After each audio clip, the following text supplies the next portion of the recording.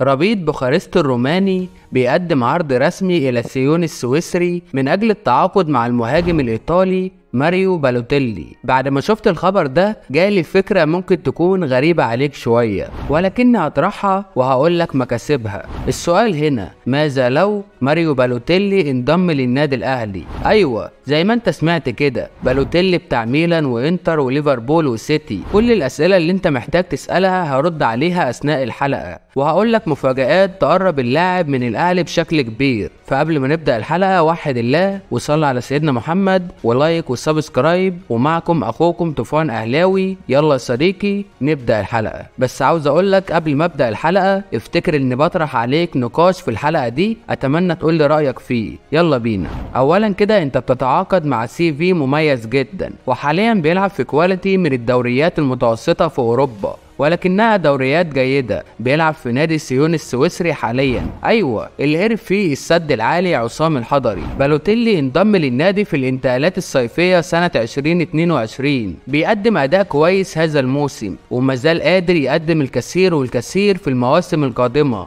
لعب معاهم خلال هذا الموسم 18 مباراة بمعدل دقائق لعب 1166 دقيقة. يعني تقريبا لعب 13 مباراة وقدر يسجل خلالهم 6 أهداف. ومعظم المباريات بيشارك فيها كبديل وده سبب كويس جدا يقرب اللاعب من النادي الأهلي. ولكن قبل انضمام ماريو بالوتيلي إلى نادي سيون كان بيلعب في نادي اسمه أدمير سبور التركي لعب معاهم في موسم 21 22 لعب في الموسم ده 33 مباراة. بمعدل دقائق لعب 2178 دقيقة. يعني تقريبا شارك في 24 مباراة. وقدر يسجل خلالهم 19 هدف وصنع 6 أهداف. مع العلم إن ده الموسم اللي فات يعني اللاعب لسه fit واللاعب قدامه كتير يقدمه. وفعلا عمل موسم عظيم يدل إنه لسه مازال ماريو بالوتيلي اللاعب السوبر ويقدر يقدم إضافة لأي فريق ينضم ليه. ماريو بالوتيلي حاليا عنده 32 سنة في الوقت الحالي. هتقول لي كبير هقول لك أبو بكر عنده 31 سنة وإحنا كلنا نفسنا ينضم للنادي الأهلي. هتقول لي إن في فرق في المستوى الحالي؟ هقول لك إن بالوتيلي لسه واقف على رجله ومجهوده ممتاز في الملعب. والكلام اللي أنا بقوله لك ده بعد ما اتفرجت عليه في عدد من المباريات. وعلى فكرة اللقطات اللي قدامك دي في الموسم الحالي واللي فات. وطبعا أكيد واضح ولو جزء صغير إنه لسه فت ويقدر يفيد النادي الأهلي بشكل كبير. وإذا تم التعاقد معاه لمدة موسمين هيقدر يقدم مستوى جيد جدا مع الأهلي. لاعب بعيدا عن السي في التاريخي بتاعه بلعبه مع ميلان وإنتر وليفربول وسيتي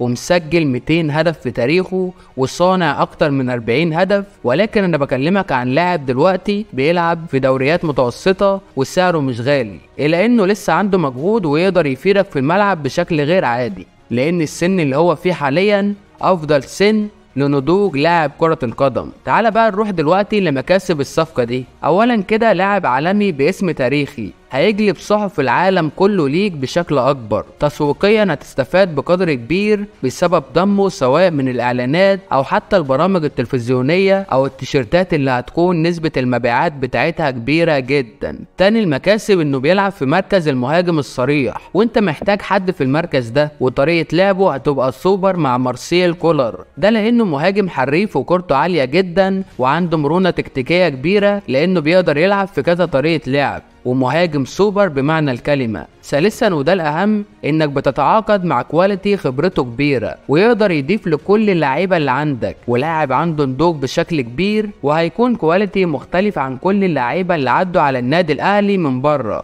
وفعلا هيقدم إضافة كبيرة. ودي وجهة نظري. قول لي برضو وجهة نظرك. هتقول لي ماشي يا طوفان طب هو أصلا ممكن يقتنع ينضم للنادي الأهلي؟ ولو انضم هينضم بكام؟ هقول لك يا سيدي. اولا بالوتيلي الفترات الأخيرة ما كانش بيجي له عروض من أندية كبيرة في أوروبا لدرجة إنه لعب في الدوري الإيطالي الدرجة الثانية ولعب في الدوري التركي في أندية منتصف جدول والدوري السويسري وحاليا جاي له عرض من الدوري الروماني اللي محدش عارف عنه حاجة أصلا. فدي حاجة كويسة جدا تميل كفة النادي الأهلي لأن الأهلي اسم كبير وأكبر نادي في أفريقيا وقيمة الأهلي أكبر بكتير من الأندية اللي جاله عروض منها خصوصا إنك كل سنة تقريبا ما شاء الله بتوصل كأس عالم للأندية. ودي حاجة ممكن ترجعه يرجعوا للصورة تاني للانتقال لنادي كبير في أوروبا. وبخصوص التفاوض مع الفريق بتاعه أكيد مارسيل كولر لو اهتم باللاعب فأكيد عنده علاقات في بلده ويقدر يخلصه من نادي سيون السويسري. ودي حاجة كويسة برضه تميل كفة النادي الأهلي. أما بقى بخصوص إن ممكن ينضم بكام؟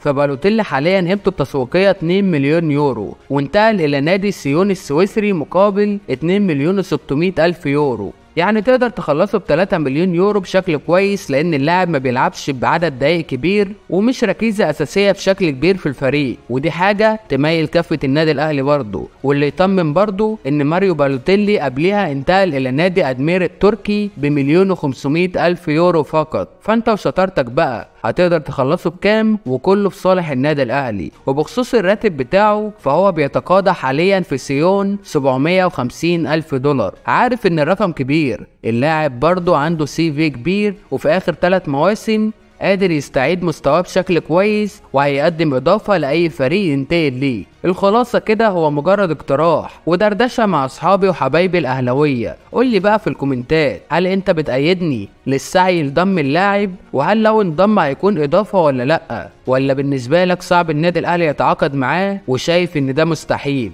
هستنى ال comment بتاعك لأنه يهمني جدا. وآخر حاجة عايز أقولها إحنا آه معناش نفس الفلوس ونفس القدر المالي بتاع الفرق الآسيوية ولكن النادي الأهلي باسمه وعراقته يقدر يجيب لاعب بأربعة وخمسة مليون دولار. فأنت علشان تدفع في لاعب لازم تدفع في لاعب فعلا سوبر وأنا شايف إن ماريو بالوتيلي هيكون إضافة عظيمة للنادي الأهلي في جوانب كتير جدا. وأخيرا أتمنى قبل ما تقفل الحلقة توحد الله لا إله إلا الله وتصلي على سيدنا محمد عليه أفضل الصلاة والسلام واعمل like للفيديو و subscribe للقناة وفعل زر الجرس علشان يجيلك تنبيه بكل الحلقات الجديدة. وكان معكم أخوكم طوفان أهلاوي. نتقابل في حلقة جديدة إن شاء الله. قول لي الحلقة اللي جاية عاوزنا نتكلم عن مين؟ سلام.